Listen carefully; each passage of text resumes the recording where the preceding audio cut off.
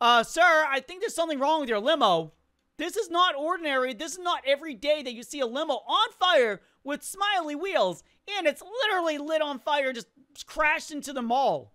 Man, some people just can't drive. Oh, I think I figured out who they were.